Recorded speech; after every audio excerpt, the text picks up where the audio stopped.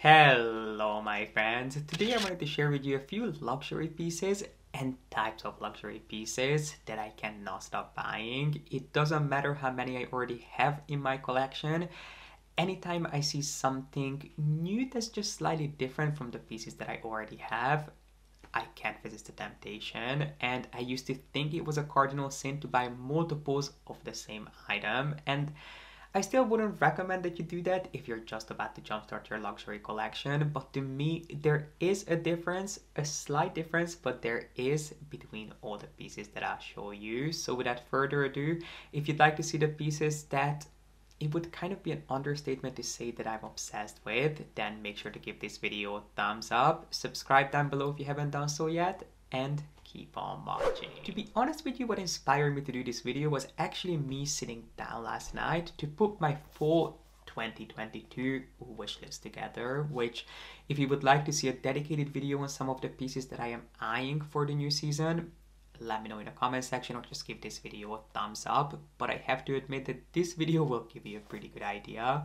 because as I was sitting there putting down all the pieces that I would love to pick up. What I realized is that most of the pieces that I'm eyeing, I already own a version of, which are the pieces that we'll be looking at. So I'm hoping that this video will give me a little bit more clarity in terms of what pieces I still need, what pieces I could use more of, because the pieces that I already have, I know I have already got my money's worth out of. So without further ado, let's jump into talking about the pieces that I already own, not the pieces that I would still like. And why don't we start with shoes? Because I don't have any shoes here. I'm a strictly no shoe person in the home. So I'll put in some mod shots for you and some b-rolls of the shoes that I'm talking about. But one thing that I cannot stop buying is a white sneakers, which I know is quite controversial. Some of you love the fact that I always have white sneakers on, while others prefer some other shoe choices.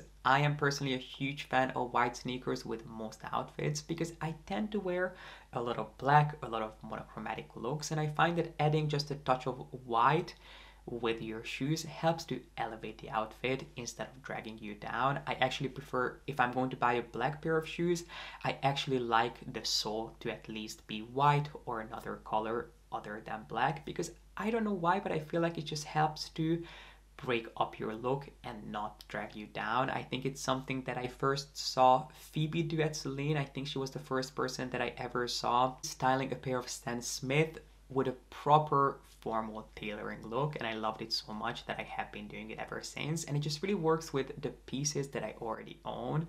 Now with that said, I think that everyone needs a nice pair of white sneakers in their collections. Even if you're not going to wear them every single day they're just a good staple to have. You guys obviously know that my favorite white sneakers are by Hermes they are the Avantage sneakers which I don't believe are currently in production.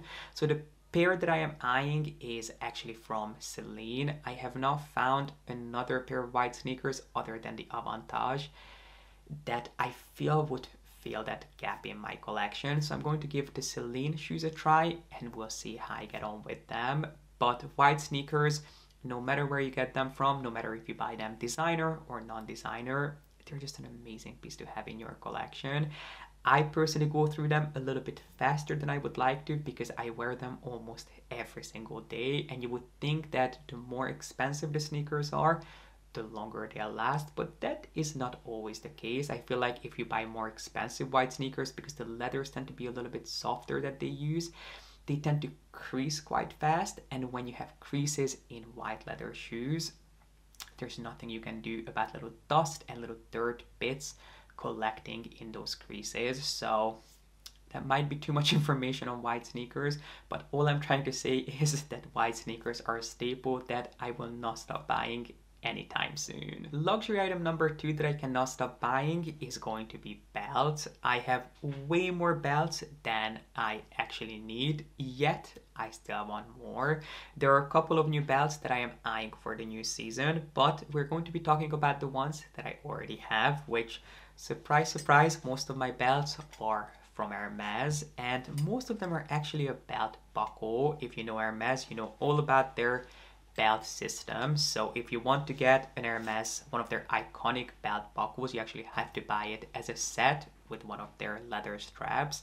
So basically anytime I wanted to buy a new strap, I would buy a belt buckle, even if I didn't want or need one, just because you can buy a strap on its own, but you cannot buy a buckle without the strap. So I thought if I'm already buying a strap, I might as well get a buckle with it. So I have a ton of different Hermes buckles, especially different takes on their iconic H belt. So I have obviously the classic H belt here. I have some that are covered in different exotic skins.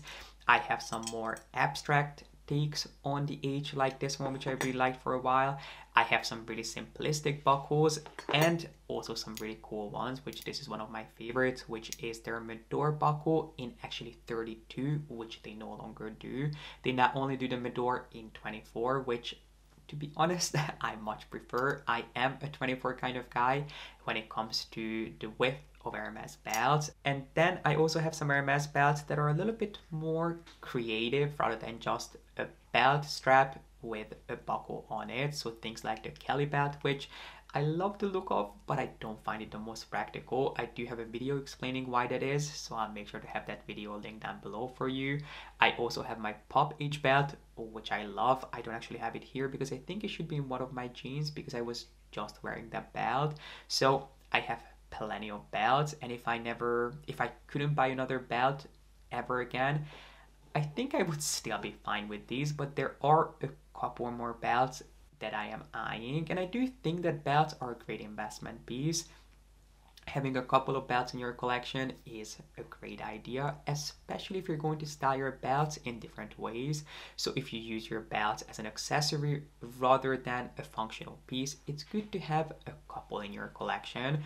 But I would say to maybe invest in a belt buckle, just one. One is more than enough and then maybe buy a belt that you can wear in different ways so something like the Kelly belt or the original CDC belt which is now back in production, things that make more of a statement rather than just functioning as a belt is a great idea.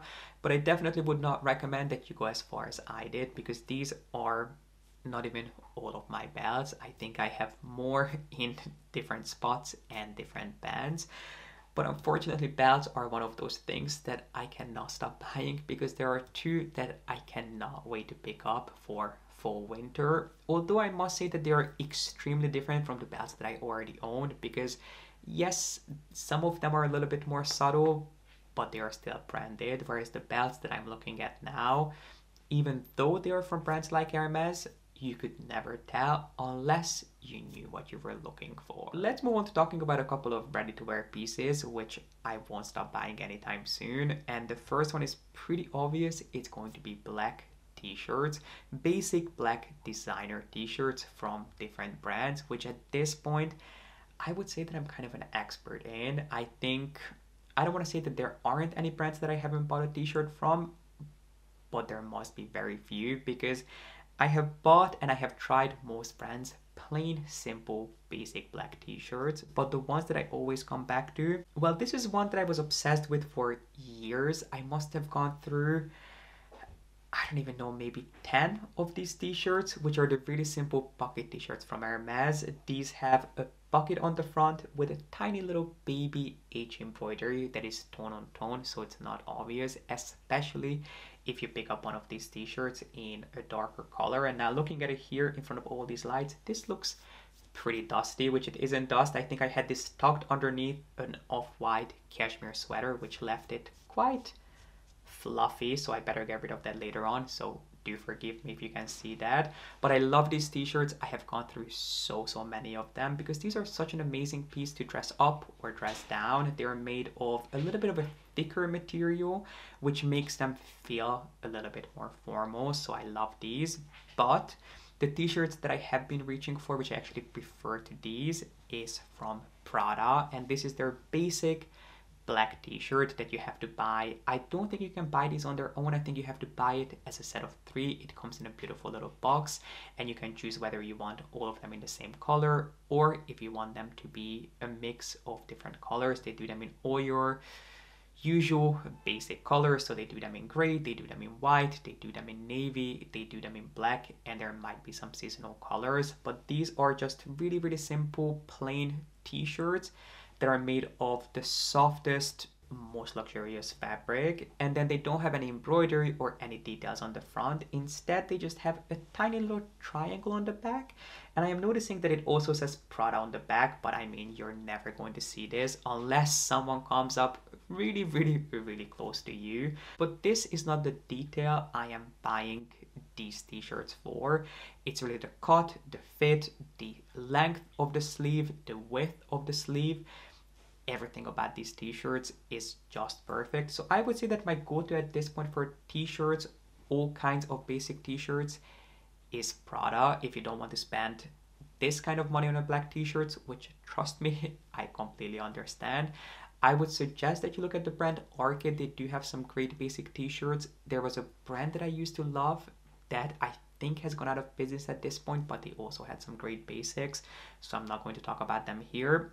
And then Uniqlo is also a great brand for basic black t-shirts. The ones that I have from Uniqlo are a little bit more oversized, but I'll make sure to link the ones that I like down below because they have so many different t-shirts and they're all just slightly different. But when it comes to designer black t-shirts, I think I have found the perfect one and the ones that I'll continue buying are from Prada. For me to say that I'll ever stop buying these pieces is like saying that I'll never drink water again, it would just be ridiculous because I never ever want to be without these pieces. Honestly, if I couldn't buy anything else other than these, I would be perfectly content. I love these pieces so much, which are going to be cashmere sweaters, but specifically black cashmere pieces from Saint Laurent. I think I have tried most popular luxury cashmere brands out there, but Saint Laurent is always the one that I come back to. They do the best fits, the best cuts, the best quality for the price, which I'm just going to say they're they're a lot more expensive than they should be, but compared to brands like Hermes, their cashmere is beautiful, the quality is great, and they have a ton of different weights of cashmere pieces. So if you're looking for something as a layering piece that's a little bit thinner, they have you covered or if you're looking on the opposite end of the spectrum and you're looking to buy something that is a little bit chunkier, again, they will have something for you. But the piece that I always go back to, which I will have to link down below for you because I don't think it has a name. So if you're looking for this piece, which I would highly recommend, it will be listed and linked for you because this is the best cashmere piece that I own.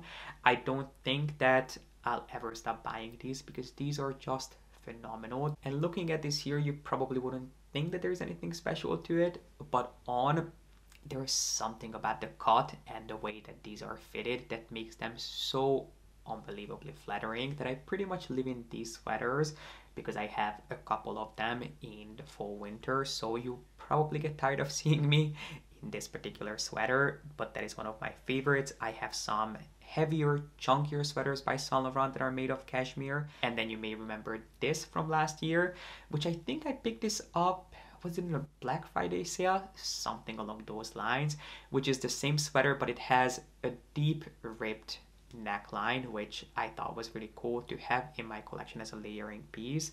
But when it comes to cashmere pieces, I'm wearing my latest cashmere edition, which is from Hermes that I unboxed a couple of months ago, maybe. Anyway, cashmere is just my absolute favorite. And when it comes to designer cashmere, yes, the price tag can be ridiculous in some cases, even unreasonable. But when it comes to investing in my collection, these are the pieces that are some of my most prized possessions. And last but not least, if you've been with me for a while, this is not going to come as a shock. But as I was sitting here last night, trying to think about the next bag that I would like to put in a wish for because I don't actually currently have a wish with Hermes. I didn't receive a bag. I didn't ask for a bag for my birthday, which was a couple of months ago. Has it been that long? No, I think it's only been a month, but I didn't ask for anything for my birthday. So I was thinking that maybe I should probably ask for something for the upcoming holiday season. And as I was brainstorming on what bag would be next for me, it was pretty obvious that it was going to be a black bag. So black bags are definitely something that I will not stop buying anytime soon.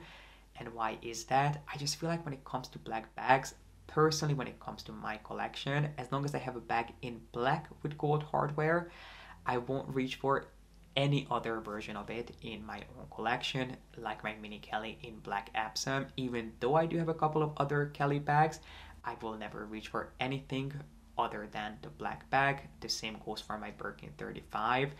I don't have a Constance in any other color other than black, but I really wouldn't even want one. So for me, when it comes to black bags, they are just perfect. Even though, if you ask some luxury experts, even if you ask people that at Hermes, they'll often try to talk you out of getting your first bag in black. I remember getting my first Birkin in black. I was so set on it being a black Birkin 40 in Togo.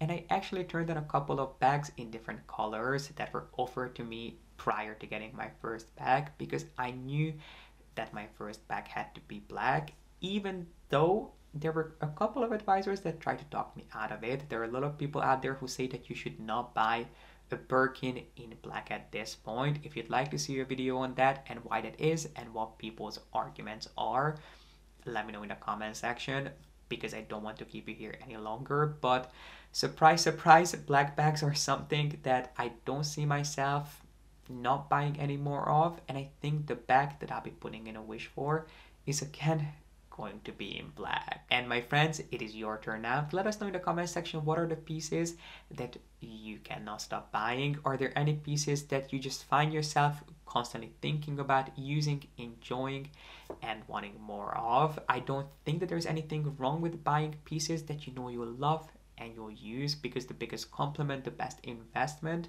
into a luxury piece is if you buy pieces that you know you're actually going to use and enjoy. So I hope you found this helpful. Please let me know your thoughts in the comment section.